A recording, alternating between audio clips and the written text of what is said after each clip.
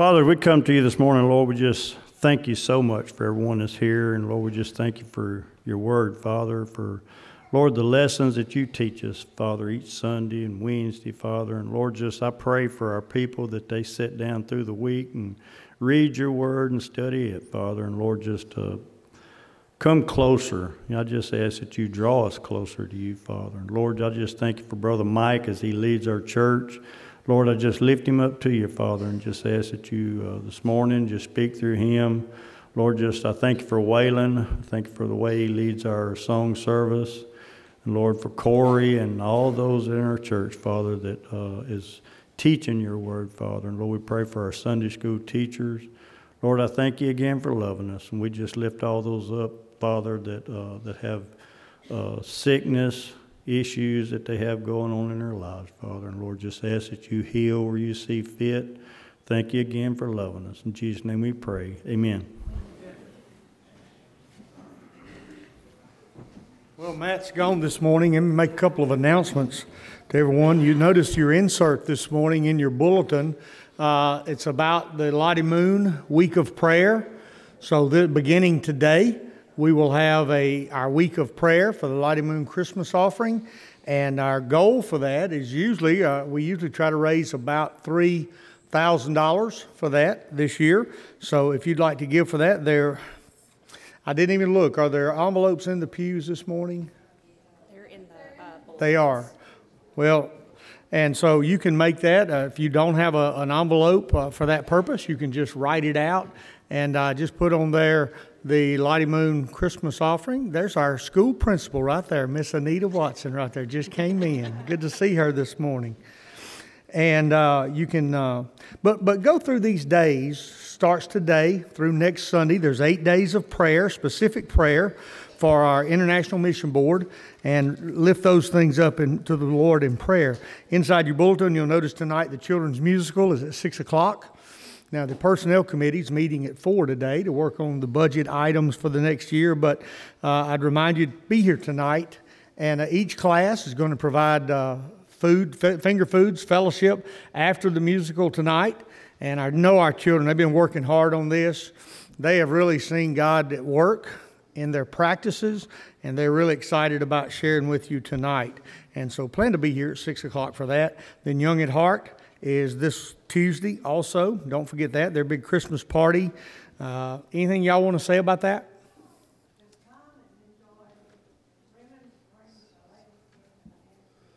All right.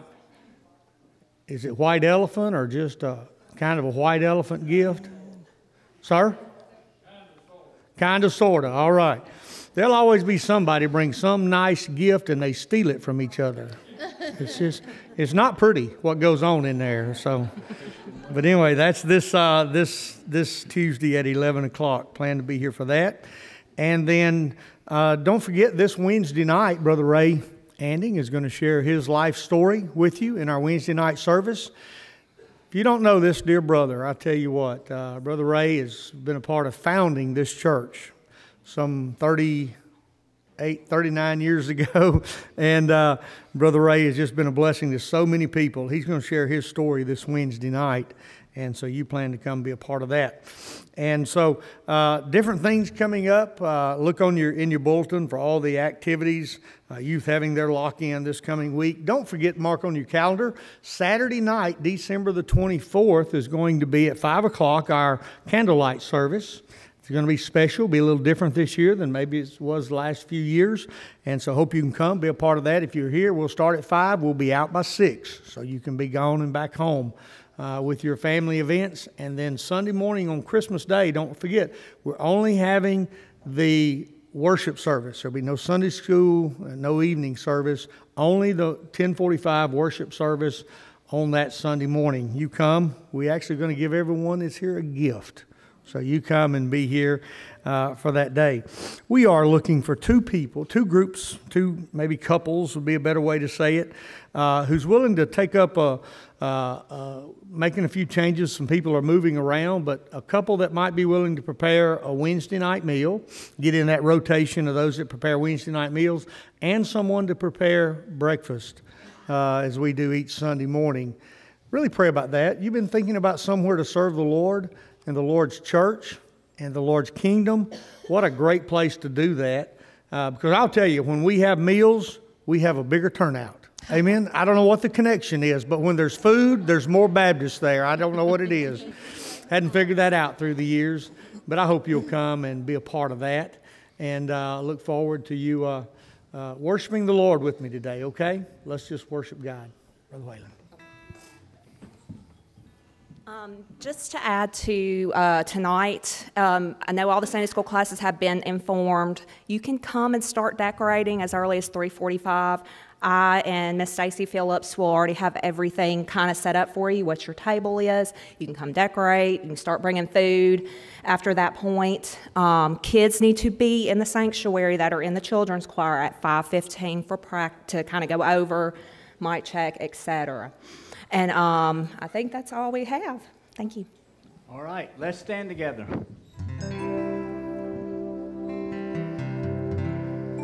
Go Tell it on the mountain, over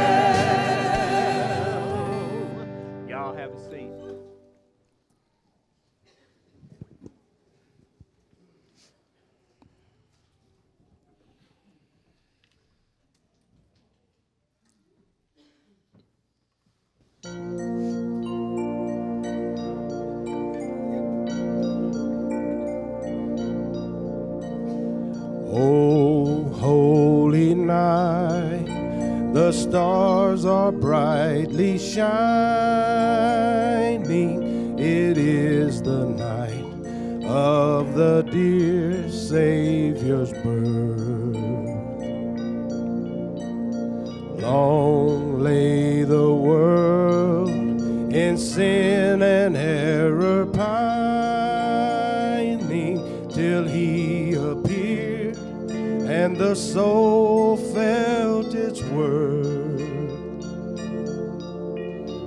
thrill of hope, the weary world rejoices, for yonder breaks a new and glorious morn.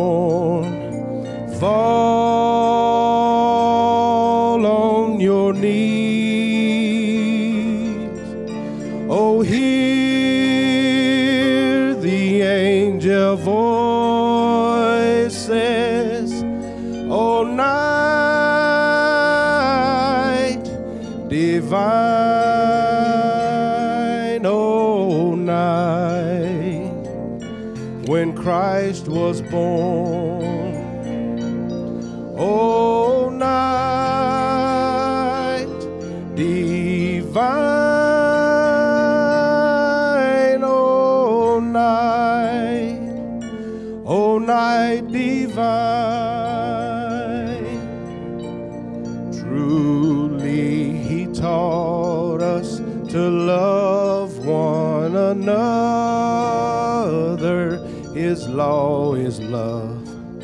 And his gospel is peace. Chains shall he break, for the slave is our brother, and in his name all oppression shall cease. Sweet hymns of joy in grateful chorus raise we let all within us. Praise his holy name. Christ is the lord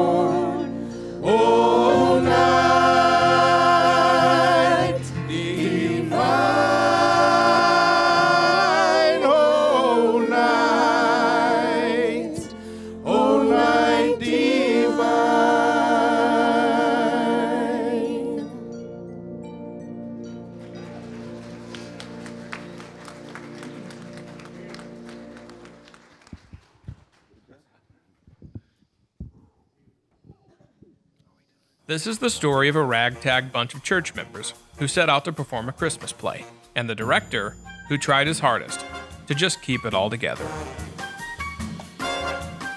The glory of Christmas. My name's Joseph, and in the Christmas nativity play, The Glory of Christmas, I play Joseph. That's right. I was born to play this role. Joseph has no clue what to do when it comes to babies.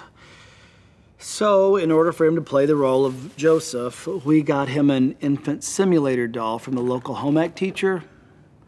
So, you know, he could practice a bit. Insane shriek for baby. It's a burp. Needs to burp?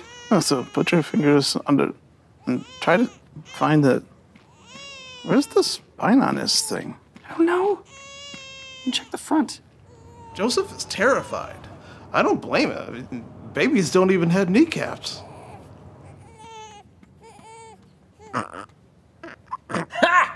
Burping like a boss? Uh, yeah, way to go, fake dad. I heard things may not be going so well with the infant simulator doll. Hey, Joseph, your mom's here to pick you up. Yeah, coming. As you can see, my mom's house is full of antiques. So I did what any good home economics teacher would do. I sent Joseph home with a, a baby egg.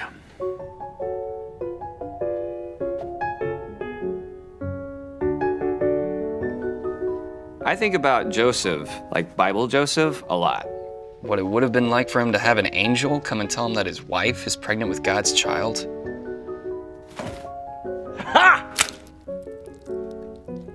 Like he would have had to really dig deep and find his his compassion and his understanding. Because he really, really loved her. My dear Mary, it is going to be a long journey from Nazareth to Bethlehem for the census, especially with your belly being so humongous. With, with, with, with child, Joseph, the line is being with child. right. Sorry, ma'am. Is the age difference what's bothering you? I want you to know it doesn't bother me. It's, Okay, please, people, let's just take it from the top. I understand that Joseph is radically underqualified for all he's about to encounter.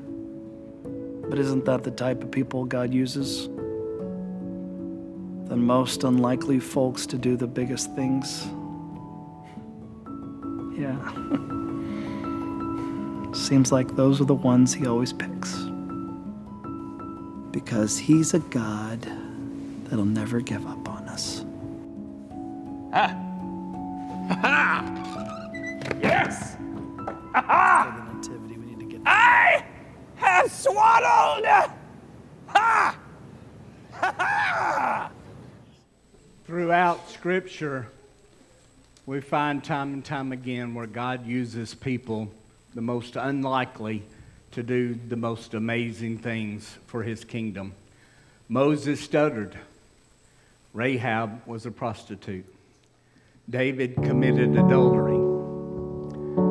And through David, the family tree, we find Joseph. And God tells us that Jesus will come from the lineage of David. He repeatedly uses the least likely, and certainly Joseph was no exception.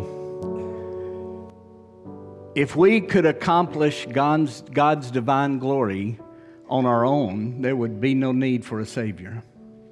But we couldn't and we can't. So God sent His Son. How qualified are you and I to do God's work? You may think that you don't have it. He would never use somebody like you or somebody like me. But when we take and give all who we are to Christ, the work is up to Him, and He gives us the capabilities to do what He's called us to. Y'all listen as Dawn reads Joseph's story from the Word of God. Now, the birth of Jesus, the Messiah, took place in this way. When his mother Mary had been engaged to Joseph, but before they lived together, she was found to be with child from the Holy Spirit. Her husband Joseph, being a righteous man and unwilling to expose her to public disgrace, planned to dismiss her quietly. But just when he had resolved to do this, an angel of the Lord appeared to him in a dream and said, Joseph, son of David, do not be afraid to take Mary as your wife, for the child conceived in her is from the Holy Spirit. She will bear a son, and you are to name him Jesus, for he will save his people from their sins. All this took place to fulfill what had, had been spoken by the Lord through the prophet. Look, the virgin shall conceive and bear a son, and they shall name him Emmanuel, which means God is with us. When Joseph awoke from sleep, he did as the angel of the Lord commanded him. He took her as his wife, but he had no marital relations with her until she had borne a son, and he called his name Jesus.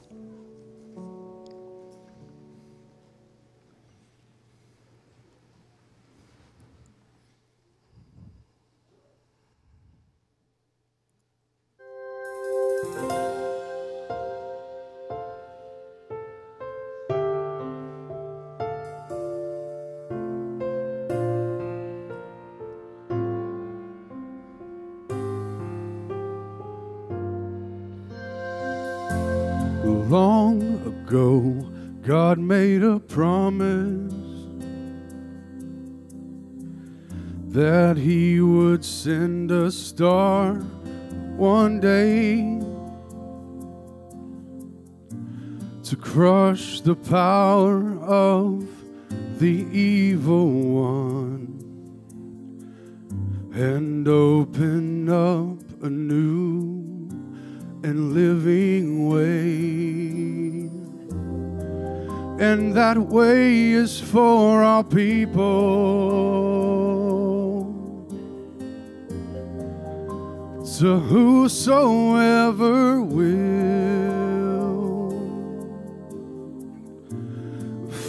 God's only Son is this morning star let his brightness shine within your heart. A star is born, holy, loving light. A star is born, shining through the night to free us from our sin and shame and guide us to the break of day. A star is born.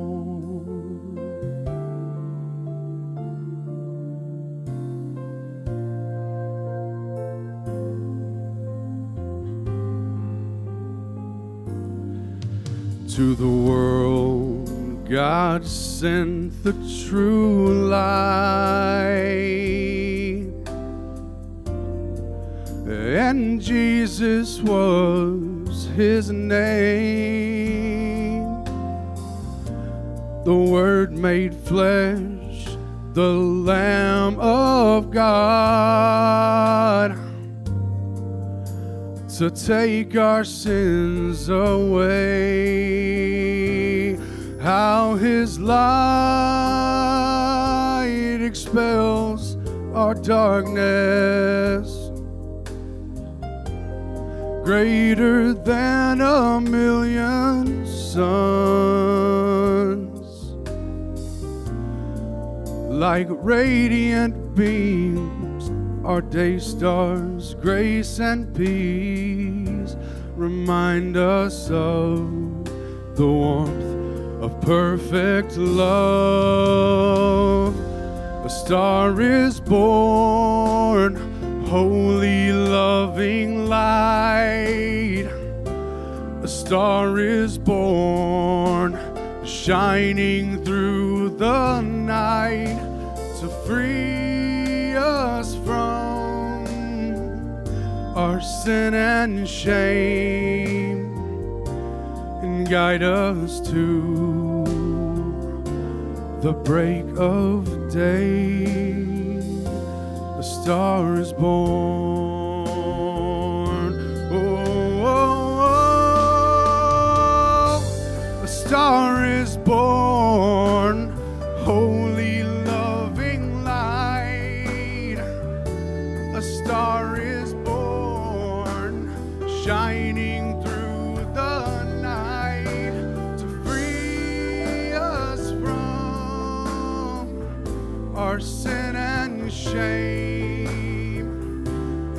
guide us to the break of day. A star is born.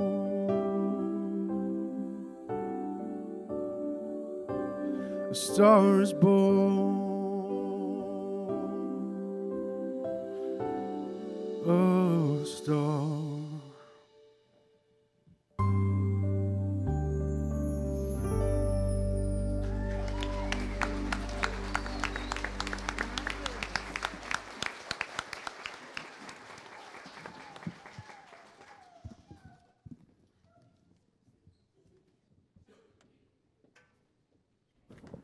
James, what else could we say but wow? If you don't know this guy, four or five years ago, he was an atheist. He didn't believe in God. 100%. Amen. Transforming power of God in a person's life. Amen. We're going to let the children go out for children's church right now. All right. I used to could sing like that. Well, in my dreams, I did one time at night anyway. All right, buddy.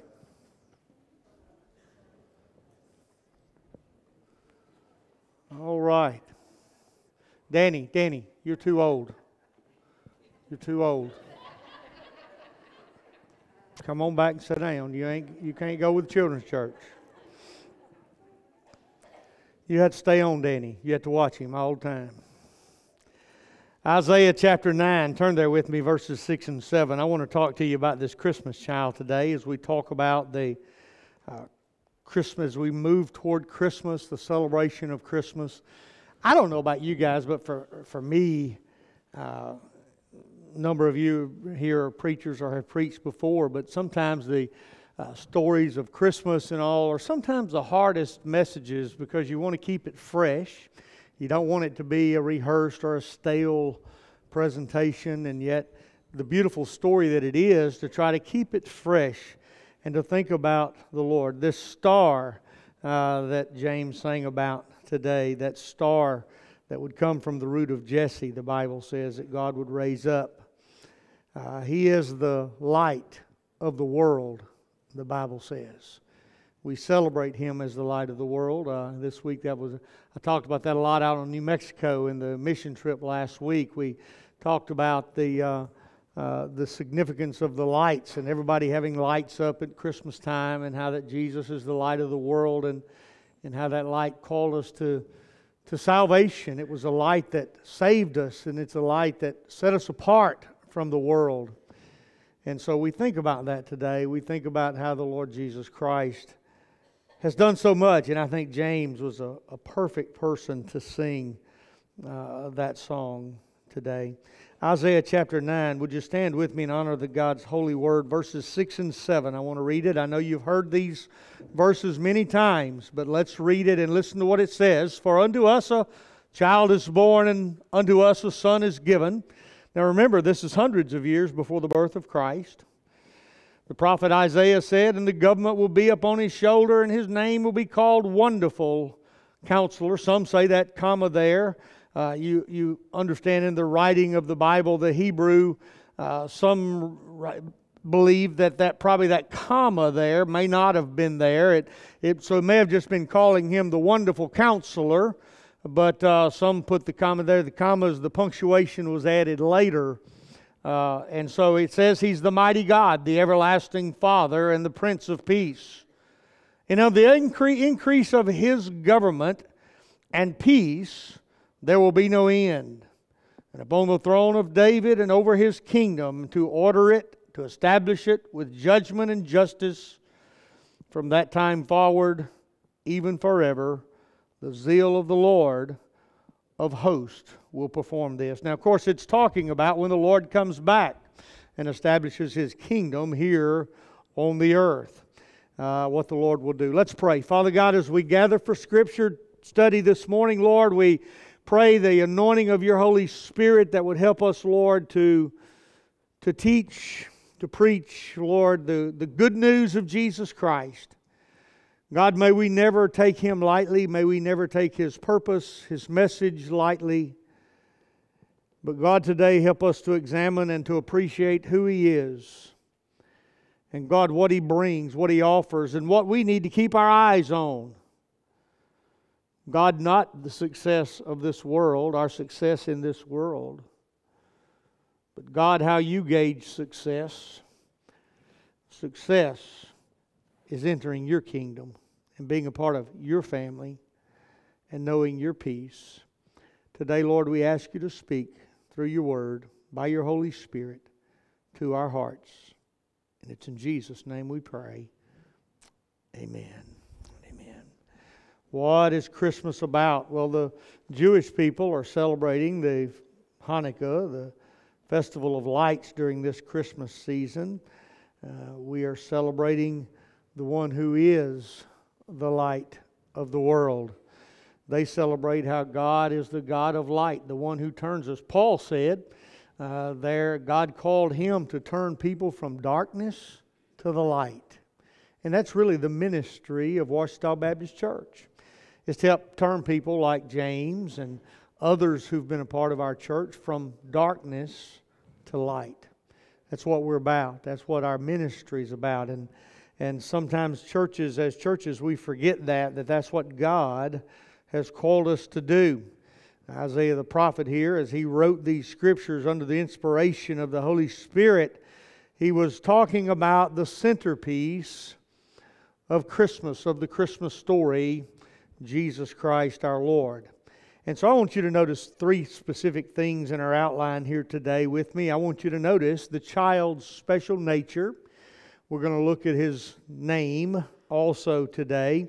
And then we're also going to look at his nobility. Quickly today, as we notice these things, I want you to note, first of all, this child's special nature.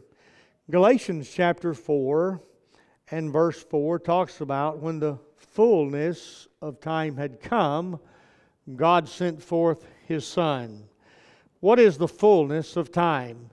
That just basically means when God was ready, when it time when it was time for Jesus to come. God sent Jesus. Now, he didn't have to create Jesus, did he? Because Jesus has been there from the beginning. We see in the very in the beginning of the Bible, in the book of Genesis, where God said, "Let us go down and create man in our plural, both us and our plural." There, that God reference is referencing, I believe, the the Father, the Son, and the Holy Spirit. How he's saying that Jesus, and by fact, the Bible tells us that Jesus created all things. All things were created by him and for him. So we know that Jesus Christ had been there from the beginning. But I want you to notice with me some things about his nature here that stand out about the Lord Jesus Christ. First of all, he was gentle. He was a gentle Lord, and he is this child that is born. I think a reference how that he came as the Lamb of God. He came, uh, he will come back as a lion. I remind you, when he sets up that kingdom and establishes his government. I want you to know that he's going to come back as the lion of the tribe of Judah, but he came this first time. He came giving himself willingly as a sacrifice for the sins of many. And so we see the nature of him was a, as our gentle God, one who was willing, the Bible says, he was willing to humble himself and depart heaven and come here and give himself for the sins of the world. When that time was come, when God was ready, he sent his son. The second thing I want you to see that he was God. Not only was he gentle, but he was God. He was fully God. A son is given, the Bible says. That's the reference that God gives us in this. Uh, there in Isaiah chapter 9 and verse 6 says, The child was born. The second thing it says, that son was given. And so as we look at that today, the Lord Jesus Christ gave us Himself. He gave us Himself in a form that we could talk to, that we could, we could communicate with in the Son, Jesus Christ.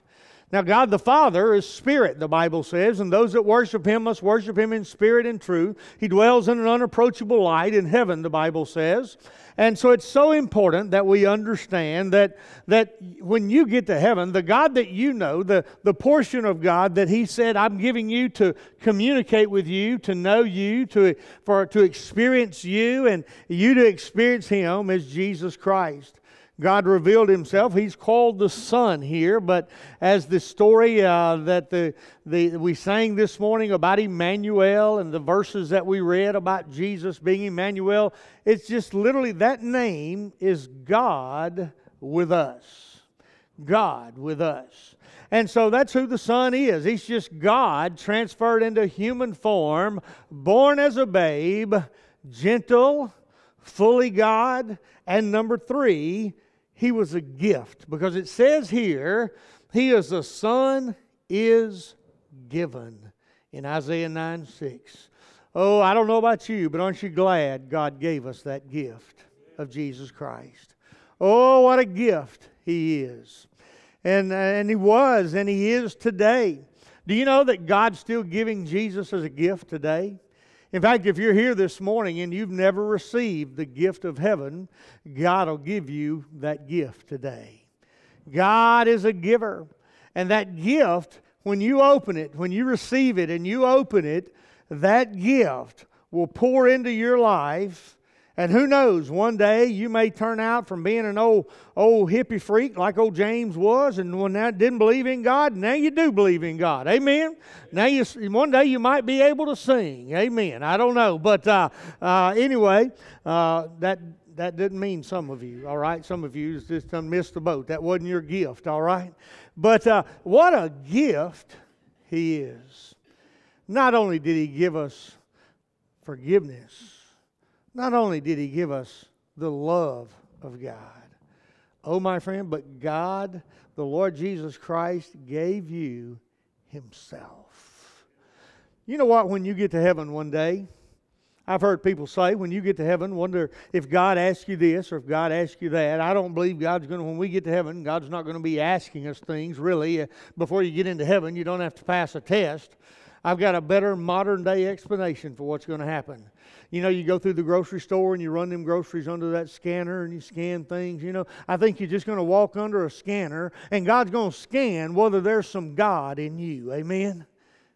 Hello, are you with me? Because that's what happens when you receive Jesus Christ. He's God in you. And when you get to heaven, God just said, Man, God, there I am. I'm God in Him. I, I, he's received me. We're not God, but we have God in us.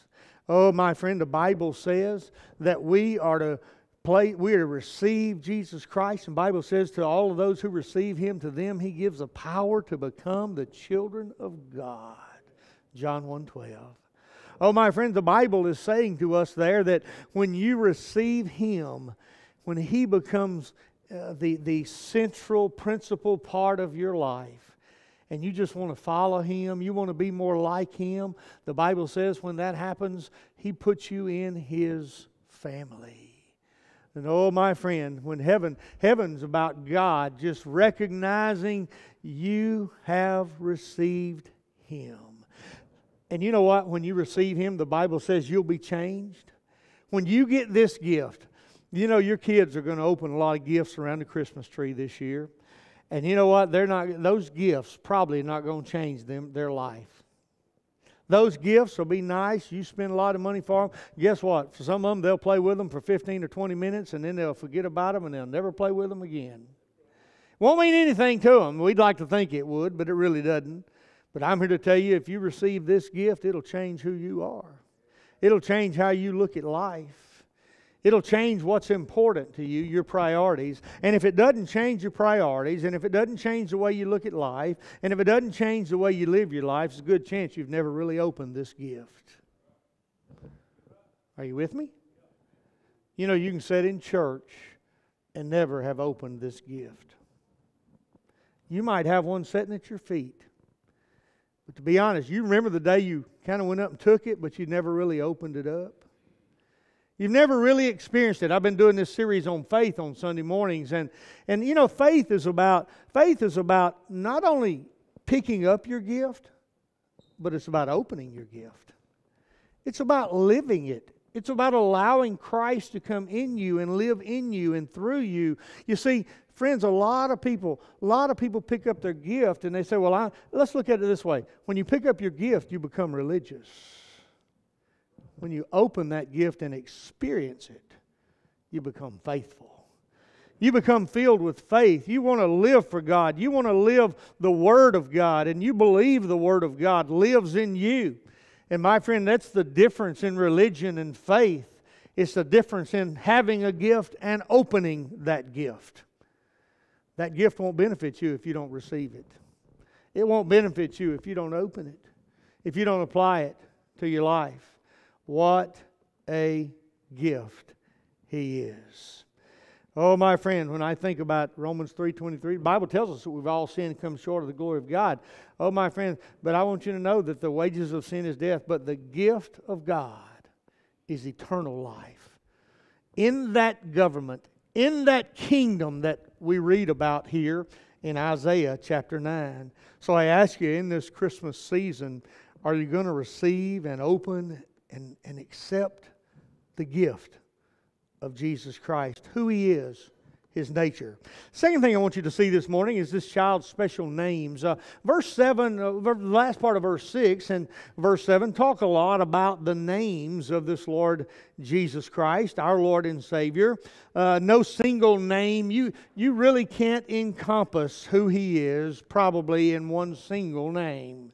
You, you, you can't, I mean, he has so many things uh, on the walls up here, our posters, uh, our banners that we've put around in different places. we we're kind of just kind of drawing on some of the names of the Lord Jesus Christ.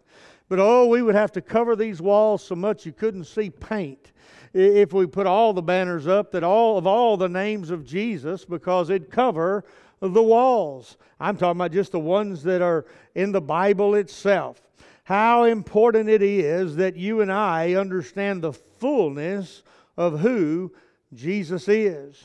Yes, He's Jesus, but He's also Lord. He's also our Master, our Savior. When you open the gift, you're going to find out He's Christ. And that word Christ is just another word for the Messiah, the one who delivers us.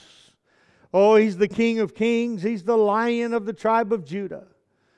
The Bible says he is the rose of Sharon, the Lamb of God, the bright and the morning star, is what the Bible says. How important it is for us to know the Lord Jesus Christ. And I could go on and on and on and share more of those names, but Isaiah is saying that this child who is going to be born in these descriptions i'm about to read you five names uh, five descriptions that he says there's really he's basically saying to us it's almost impossible to describe him.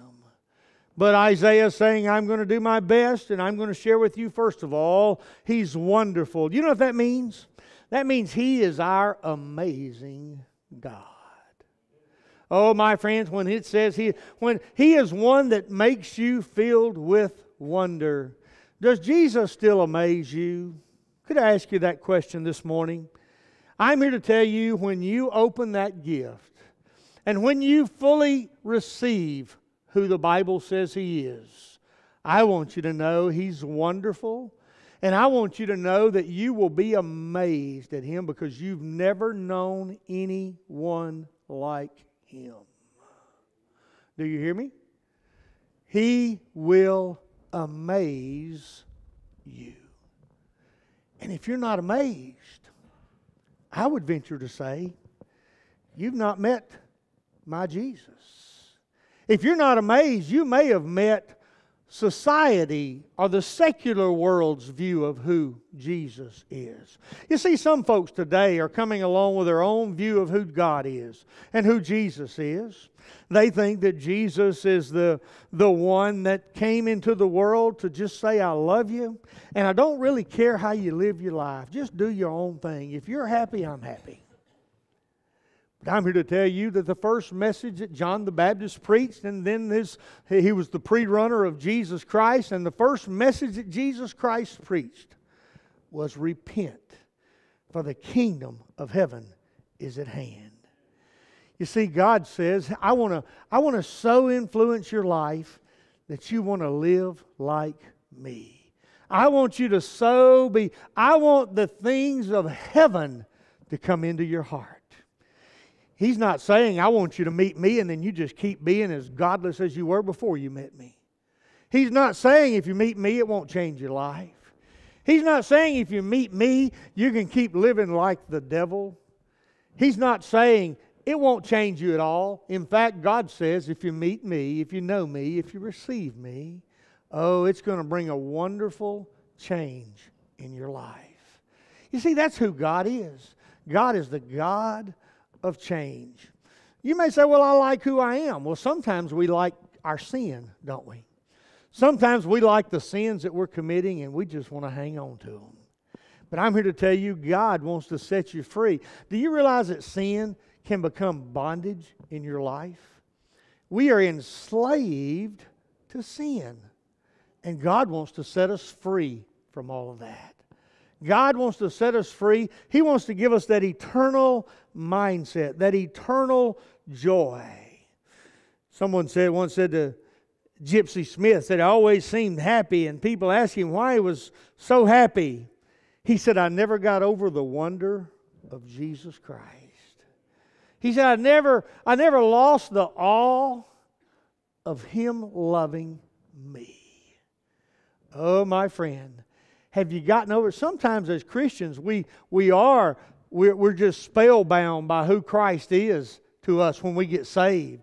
And you know what? As the years go on, we just kind of, it just kind of becomes something that we take for granted, don't we? Do you ever take God for granted? And I'm here to tell you, when we start taking God for granted, you know what we're doing? We've backslidden on God. You know, the Bible says that a, a backslider in heart is filled with his own ways. That's what the Bible says.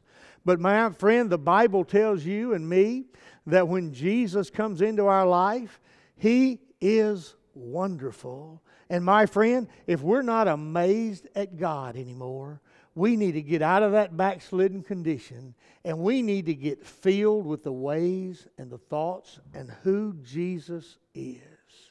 Sometimes people ask me, they say, I've lost the fun, the joy of being a Christian. And, and they, they'll ask me, they'll say, What do I need to do about it? You know what I do? I, if, uh, if a husband came to me and he said, I've just lost the joy of loving my wife, what do you think I need to do? I said, Well, first of all, I always have a question for guys like that. I said, If you're not loving your wife, who are you loving? Because you're going to be loving somebody. Might be just loving yourself.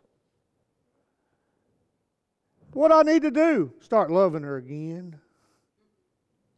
You just need to decide to start loving her again. You know, it's decisions that we have to make. And that's the way it is with God. You have to start listening to God again. You have to start spending time with God again. And you have to decide that you're going to love God with all of your heart and your soul and your mind and your strength. You know, sometimes when you've lost the wonder, you have to stop and turn around and get back close to God. Are you with me this morning? Or am I speaking another language? It's awful quiet out there this morning. Let me tell y'all something. I spent the weekend up in uh, in Fordyce preaching at that prophecy conference and came back today. Got in late last night, came here this morning. I'm awake and ready to preach. And if I had an amen every now and then, I might just preach a little better. Amen? All right, so help me out here. Second thing, wonderful, he's the amazing God. The counselor, he says about him, he is our approachable God. You know what I love about God is that he is our counselor. Oh, my friend, think about that. Sometimes we just need somebody to give us some direction, don't we? Sometimes we need somebody that, that'll listen to us, somebody that's not too busy to listen to us. I want you to know that no matter what you're going through, God has time for you. You know what I love about God? You know, the Muslims believe that God's kind of way out there and He's not a personal God and He's really too busy. He's kind of gone on vacation sometimes and, and God's not really there for them when, always when they need Him. They just got to try to do better. I'm here to tell you something. Our God, our God, which by the way is different from their God, but anyway, uh, I, I want you to understand that our God, our God says, I am here. Come unto me, all of you who are burdened and heavy laden, and I'll give you rest. He says, Come to me and basically crawl up in my lap and, and sit down here and, and let's talk about things. Oh, he says, Come unto me. He challenges us, he invites us to come. Come boldly, the Bible says, into his presence at that throne of grace and cry, Abba, Father. Sometimes you just need somebody to listen. You know, sometimes, though, let's admit it, sometimes we don't want nobody to listen. Sometimes we're so stubborn, we only want to hear ourselves. We only want to hear what we think, or we only want to hear what our friends think. But I want you to know that, and, and I told somebody something, I saw something on the internet this week, and I, I shared with them up there at that conference. I said, You know what I heard this week? And I, I shared that thing. I'm not going to share what it is because I don't know if it's true. But they said, Oh, it can't be. I said, I don't know. I saw it on the internet, and if it's on the internet, it's probably true. Sometimes we only want to find what we want to hear on the internet. Sometimes we want a friend to just tell us what we want. You know, if a, if a lady's deciding to leave her family and run off with some other guy, you know what she's going to do? She's going to gather some ladies around her at work who'll tell her just what she wants to hear. And she'll say, Well, I talked to some friends, and my friends said, You need to talk to God. You need to get the counsel of God and not what your friends think or not what the internet thinks. And so we look at this scripture, what a counselor he is. Isaiah 29 29 said, This comes from the Lord of hosts, which is wonderful in counsel and excellent in working. Oh, my friend, he is the opinion that we need today. Psalm 16, 7 says this I will bless the Lord who hath given me counsel. Number three, he's called the mighty God. Uh, he's called our mighty God. You know what that means? That means that no matter how big your problem is, he's got the solution to it. He can fix whatever is in your life. Now, let me say this you, you may need a miracle. Guess who can do it? God. You may need God to step in. You know what the miracle is? The definition of a miracle is the supernatural intervention of God. Sometimes you need a miracle. Where else are you going to go for a miracle? But you know, when I think about this mighty God, this mighty God is also a God who looks inside of us. This is a God who has the right to say to us sometimes, sometimes we don't need a miracle. Sometimes we just need to get on our knees and get right with God. Sometimes God may call something out of us and say, hey, you need to deal with that issue in your life. That's what's stopping you from getting what you need right there. You need to understand that He is our mighty God. I think about all the ways He's mighty. He's mighty in power, yes. He's mighty in what He can provide, yes. He's mighty in his perception and understanding. Yes, he's, he's mighty in his promises of the things that he will do. And he's mighty in his ability to protect and to provide for us. Oh, my friends, there's so many ways. Jeremiah 32 17 says, Ah, Lord God, behold, thou hast made the heavens and the earth by thy great power. Stretched out your arms, and there is nothing too hard for you. Do you know God that way? When you have a need, do you go to God first? Listen to me. Do you go to God first when you have a need? Because you say, you know, or, or do you try to figure out how to do it yourself? Or maybe you talk to some friends. Or maybe you go to your boss, or you've got all these things, these things that need to happen in your life. How many times is God the last one that we go to? Are you with me? Sometimes God is kind of like that old spare tire in the trunk. We just pull him out when we have a flat. We, we decide that God, uh, we, we just, we don't want to bother God. Let me tell you something about your God. He has the answer, He has the ability to deal with your problem, and He's waiting on you to ask Him. The Bible says He knows your need before you even ask, but He still says, ask. You're still supposed to go to Him and ask Him for His involvement. So He is your mighty God. Do you see Him that way? As we talk about this child today, do you understand that what they looked at in that manger, of course, the kings, the, the kings that came later and brought those gifts, they understood who He was. The shepherds understood after the angels told them. I don't know how many of them really fully understood just how mighty of a God that He is. Oh, my friend, we have so much more advantage today as we look at Christ on this side of, of everything that's happened 2,000 years later we should appreciate the fact of who He is and what He did even more so than they were able to before He had accomplished all those things. Oh, my friend, we ought to see Him as the mighty God. Number four, the everlasting Father. Uh, the last one meant He's the Almighty God. This one means He's the affectionate God. As I said, it kind of ties in with being the counselor earlier. earlier. Uh, but you know, the Bible tells us that He had no beginning. As far as we understand, we'll not know when did when God began or, or His end. You know, you get to heaven, that might be one of those first questions. You run up and say, God, when did you start? You think you'll ask a question like that? I think you'll just be so happy to be there. You won't really care where God came from, and or you don't care about the timetable. You know that's the wonderful thing. Time is something that's only an earthly thing. Time's not really a heavenly thing. Time's just a man-made thing. It's not a God thing. As the Bible says, a, a uh, you know a, a, a thousand years with God's about like a year with us. Oh, my friend, for God, the, the, the time is not important. I don't think we'll worry about those kind of things. But as our Heavenly Father, as we think about who God is, I think we're just going to want to sit down by Him, just like a child whose father had been out of town and they love their father. And when He comes back in, we just want to hold on to Him when He comes back in. We want to sit at His feet, we want to listen to Him. I I feel for people who, who've come up in life, maybe never knew their father or never got to spend much time with their dad. You know, because it's so important to have that one who is a, that overseer, that protector, that provider, to feel like that one that is, has, has brought security and strength and the scriptures into the home. Oh, my friend, the everlasting Father. Psalm 68, verse 5 says that He would be a father to the fatherless. He's not some distant God. I want you to know today, if you're not saved, if you've never opened that gift of Jesus Christ, I want you to know if you'll open it, God, you may have never had a father, but God makes himself your father today. But you got to open the gift. You need to open it.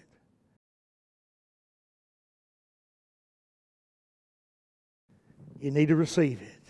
And then the last one, the Prince of Peace. He's our assuring God. He assures us of the in the storms of life. You know, life's not easy. Y'all have heard me, I say it time and time again here. And sometimes people, the world is constantly saying, well, why did this happen? And why did that happen? And boy, there was a school shooting over there. How, if there's a God, how could God let that happen? And boy, there was a tornado came through here and people were killed and houses were destroyed. How could that happen if there's a God? Why would God let things like that happen? And I don't believe in God because of those bad things that happen. Oh, my friend, I want to remind every one of you that first of all, God never promised you there'd be no storms in this old life. I want you to know that we live, in fact, God promised you, He said there are going to be storms. He said if you build on the rock, He said when the, when the storms come, He said you'll be all right. But if you build on the sand, oh, my friend, and the storms come and the rain beats against your house, He said it's going to come tumbling down. I want you to understand this about God. We, God has promised you heaven this, excuse me, Miss Principal back there, but this ain't it. Amen. This ain't heaven. I know we're not supposed to say ain't, but uh, this isn't it, is it? This is a this is a world. This is a, a world where where the little g God, the God of the old devil himself, has his way. You don't think the devil's not having a play day right now? Oh man, when, when people think they when when uh, when people think they read birds and cats, and they think girls can just say, I'm a boy today. I may be a girl tomorrow, but I'm a boy today. I'm just going to swap from one day to the next. I'm just going to decide what I want to be. You know what, my friend? We are calling evil good and good evil. And there are things today that make no common sense whatsoever. It's called the reprobate mind from Romans chapter 1. And I want you to understand that today. That's the world that we live in. But I want you to know something. No matter how bad it is, the outside of me, you know, I hear some of this stuff. I'll be honest, sometimes I'm a little light skinned, and sometimes my wife says my ears get red. And my wife says, when my ears get red, just leave me alone. Just let God deal with me when my ears get red. And I hear some of this stuff and my ears get red. Amen. I get mad. Amen. I'm, a, I'm from Okaloosa. You got to help me out there. Amen. But, but I just get mad at some of that stuff. And, I, I, and then I see the pain out there and the, the abuse of children and the, the, the sex slave trafficking in America today and the, the child, children being captured and, and, and, and all the, the sicknesses of the world today. And then I'm not mad, I'm just, I'm hurt. I'm broken about that stuff. But I'm here to tell you, and it affects me. Sometimes it makes the hair stand up on my arms. Sometimes it makes my ears get red. And sometimes I get I get goosebumps over some of it. It just it's just so strange. But I'm going to tell you, it never gets me down in here. Because inside of me, there's a peace that passes all understanding. Inside of me, I remember there's a God who's got this in control. There's a God who's who's got the buttons and he could he could step in and stop all the pain in the world and he will one day.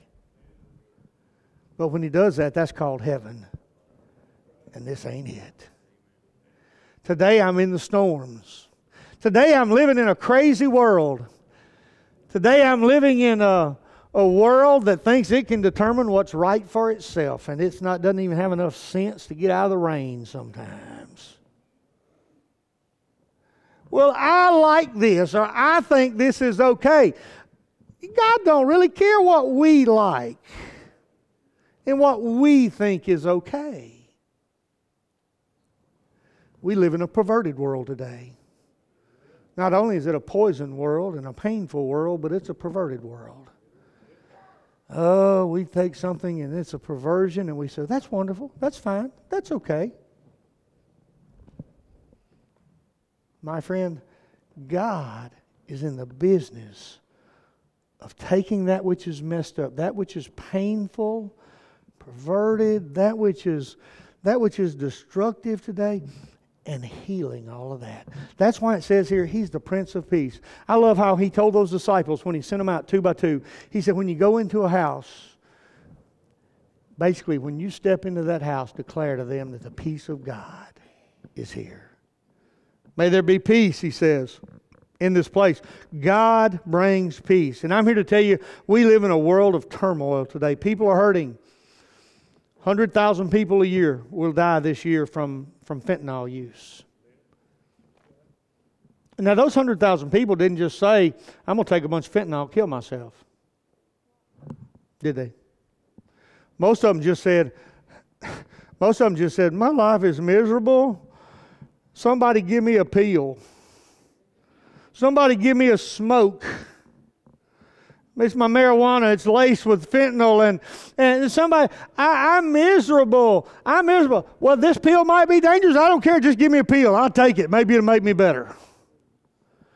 People are so miserable in this world that they'll drink anything, smoke anything, pop any pill to have a little bit of hope, to have a little bit of peace, even if it just lasts four or five hours so they can pop another pill, smoke another joint, take another drink. And I'm saying, open the gift. Open the gift. He's the Prince of Peace. You never need another drink. You never need another joint. You never need another pill. Trust God. Come to God. Know Him. Man, the outside, maybe the storms are raging. But I love that story of Jesus when the storms were raging and they were out on the ship, and Jesus is asleep in the bottom of the ship. Why was he asleep? Because he's the Prince of Peace. Man, they were freaked out. The disciples were, but he's asleep. And he stood up and he said, Peace, be still. And the storm was over. That's what God can do in your life, in my life. He's that assuring, calming God. Isaiah 26, 3. He will keep in perfect peace those whose mind is stayed on Him because he trusts in you. And then, last of all, the child's, this baby's nobility. The government shall be upon his shoulders, it says there in verse 7. I'll not read, reread all of that, but three things is going to happen. Here's what you need to understand about the God who's coming back, about this Christ child. First of all, he's going to return to this earth. You do know that. I did this prophecy conference this weekend, and that, we did a lot of studying of that and the signs of the times. And boy, it was just so much there about what's happening in our world, how many signs there are, how many things are pointing to the return of Jesus Christ like never before. Man, I, I believe I wouldn't be surprised if the Lord came back today. And there's nothing to prohibit him from doing that. He could come back today. He's going to return to this old world. He's going to establish his kingdom here. The Bible tells us in Revelation, and the second thing is he's going to not only return to the earth, he's going to reclaim the earth. He's not just going to return, he's going to reclaim it. Put the second one up there, Daniel. That by that I mean he's not just coming back as a visitor, he's not just coming back as a lamb, he's coming back as a lion. The Bible says in Revelation 5, it says he's going to have one foot on the land, he's going to have one foot on the earth, in the sea when he comes back. And you know what that means? And he's going to open that last seal. You know what that means? He's saying, hey, folks, game over. I'm claiming everything that's in the water, I'm claiming everything that's on the land. It's mine. Nobody was worthy to open that seal. Nobody was worthy to claim it all. It was a deed to everything that is in all of creation. He created everything and He's coming back to claim it one day. Do you understand that? Before you put yourself on the team, before you refuse the gift and you put yourself on the team of the devil and you understand that one day you think right now but the devil's winning. And maybe I guess if you keep keeping score like a football game or something, you might say, well, he's winning in this old world today. But I'm here to tell you something, he's a loser. He is a loser. God's going to step back in this world one day and say, It's all over, big boy. Go back to hell from where you came from. And he's going to drag up some chains and he's going to chain him up down there. I'm going to tell you, that day's coming. You say, Well, I know, but I'm just still enjoying playing in the devil's world. Well, I'm here to tell you there's a payday someday. There's a payday someday. And then the last one, he's going to reign upon this earth. Not only is he going to return and reclaim it, he's going to reign upon it. Boy, I'm telling you, he's going to establish his kingdom. The government's going to be upon his shoulders. He's going to establish his kingdom here. First of all, that thousand year millennial kingdom, and then he's going to, and there, there's a whole process in that involved. The devil's going to be released at the end of that so that all those who were born during that time period have a right to choose between salvation or not salvation, and, and they're going to have a right to choose Christ. But I'm here to tell you, my friend, that there's coming a day when God's going to say, Devil, shut up and sit down. And He's going to make the rules, and He's going to make the weather, and He's going to stop all the pain, all the perversion. He's going to stop all the all the tears the Bible says will be wiped away.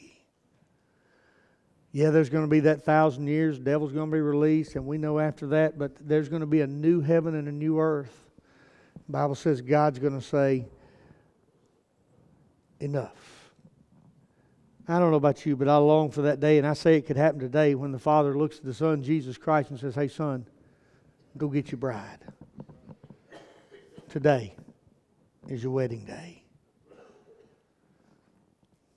Now, the gift. We close with this. Brother Whalen, if y'all will come, prepare the music for the invitation. The gift.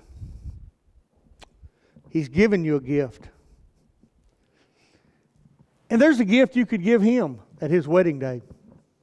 What? Preacher, what are you talking about? You know what you could give him? You could give him yourself. I'm here to tell you, he, the, he's going to invite you to be a part of that wedding. He's going to invite you to come and, and witness that. In fact, I, I don't know what you believe, but I, I believe during the seven years tribulation on earth, the church is going to be participating in that that uh, that uh, the judgment seat of Christ, but then also the wedding, the uh, the the wedding to the Lamb between the church and the Lamb. All that'll be going on.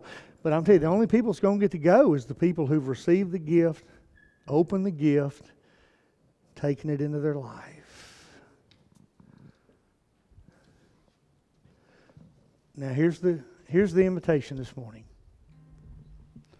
If you've been to church, there's been a gift there with your name on it. Preacher, what about some people say that some people say that everybody don't get no gift. Well, I believe you do. Because my Bible says, Whosoever will.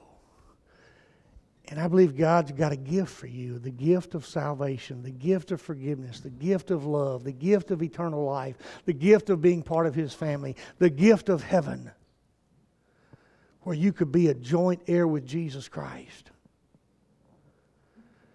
You got to decide if you're going to pick yours up. And some people, I think, down through the years, they've, they've decided to, to maybe you know, pick it up, consider it, look at it, think about it, come to church for a long time, sit there, put it on the pew beside them isn't that nice? Boy, God's offered me a gift. And they, they looked at it and they thought about it and they've, they've been, been sitting there for years. In fact, they've been looking at that gift and been thinking, do I really want to step out in faith? Because, see, when you open that gift, you're going to be overwhelmed by it. And it takes some faith to open that gift. It takes faith to say, hey, I want whatever God has for me. Back when I first got in the ministry, I had a bunch of charismatic groups met with me, and they, they liked how I preached, and they wanted to pray that I got the Holy Ghost. I thought, well, dear Lord, if I got to have something else, I want it. I want everything God's got for me. So they prayed over me, and they want to know why I didn't get the Holy Ghost. In other words, why didn't I speak in tongues? And, and I said, well, you know, I, I, I, I ain't going to make it happen. Now, if it's something like that going to happen, it's going to happen because God did it. It ain't going to happen because I did it. Well, that didn't work well with him, but but uh, I said, but my point is this: I wanted everything God had for me. Sometimes we don't. We just want a little bit of God. We just like the idea that there's a there's a gift over sitting by us. We just like the idea that we got a little religion. I'm here to tell you the Bible does not say that if you get a little bit of religion, you go to heaven one day. Doesn't say that. The Bible says you need Jesus. And he's in the box. He's the gift of God. Will you open him up, embrace him, receive his forgiveness, reprioritize your life, and say, I so love, admire, accept Him, that I want to be like Him. I want to follow Him. That's what repentance is. Repentance is just saying, you know, Brother Ray going to share his story with us this Wednesday night. I've heard a little bit of it before. You know, he was sorry before he got saved. Can you imagine Brother Ray was sorry? and when you got saved, Brother Ray, you reprioritized your life, didn't you?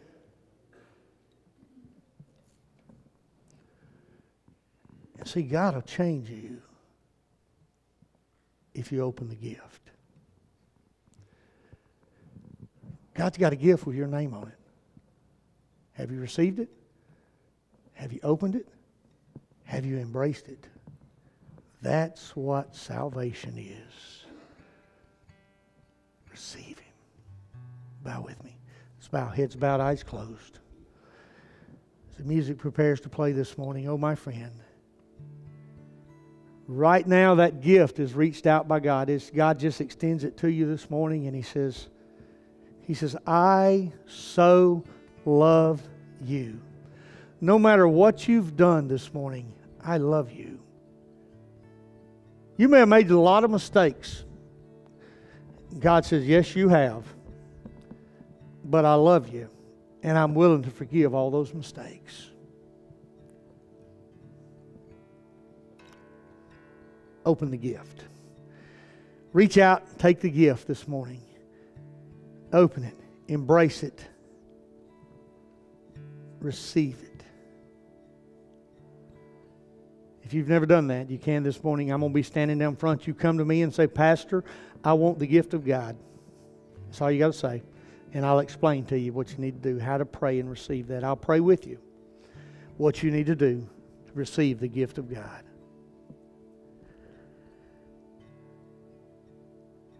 If you've not joined this church, if you need a church to join, if you're looking for a church, want to put your membership, tell me you want to do that here.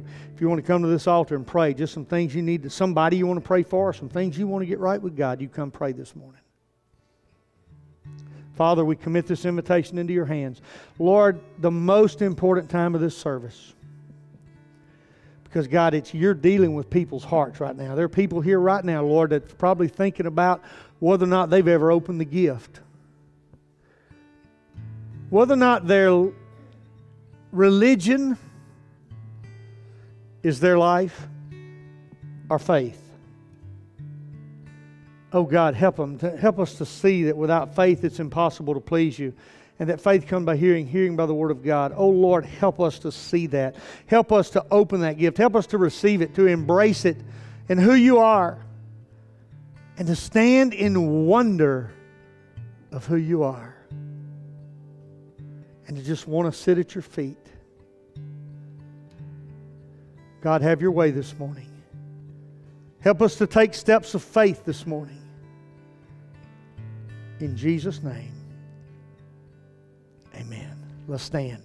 Take my life. Come on, friend. If you need to make, if you need to open that gift, if you want to receive that gift, you come this morning. I'll tell you what you need to do.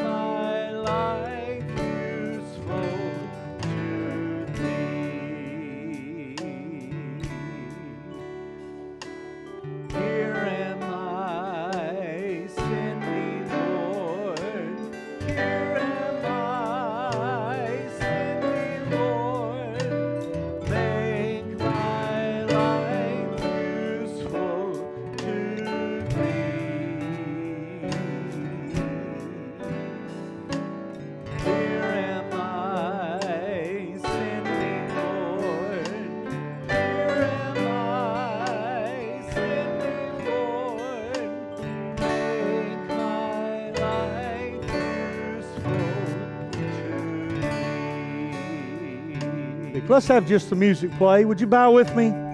Some are still praying here at the front. Oh, do you know the joy of what's in that gift? Is He wonderful to you? Is He your counselor, your mighty God, your everlasting Father, your Prince of Peace?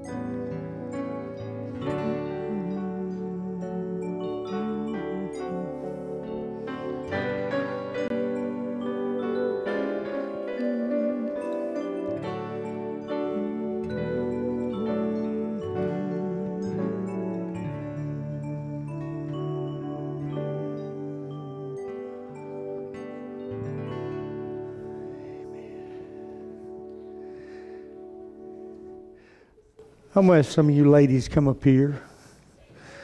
Pray with her. Pray with this sweet lady and her family. She's going to find out tomorrow about the little baby and whether Kenneth is doing okay and how he's doing, this little baby. Tomorrow's a big day. We need a miracle.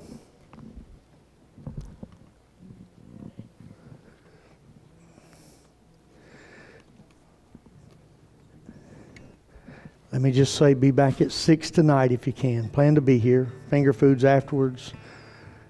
And as we dismiss, you let God have His way in your life this week. And if you need someone to talk to, you come talk to me, okay?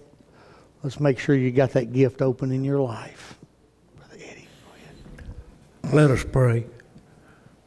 Gracious Heavenly Father, it's just so great to be in your house today, just to feel the appearance of you here. Father, as these ladies are praying for the, the child and her mother, Father, we just ask you to be with her, comfort her, be with the child. Father, it's just so great that we have a place that we can call our church, that we have this opportunity to come to you when we need to. And Father, we just love you so much that everything that you're doing in our church, that we see that the change of the people, the community that, that's come out of this. Father, we just want to thank you so much for the message that our pastor has given us this morning, just to remind us of things that that we need to know. And Father, we just continue to love you, and we just want to thank you for loving us. All these things I ask in your most precious and holy name. Amen.